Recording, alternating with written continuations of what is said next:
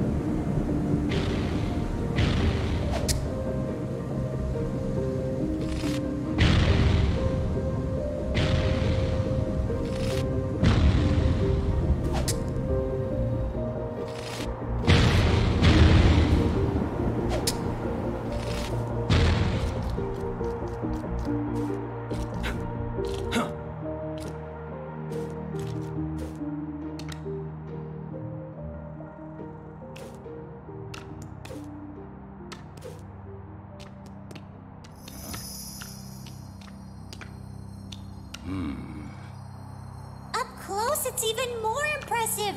The gate on its own is higher than any building I've ever seen. A giant gate, a giant castle, giant enemies.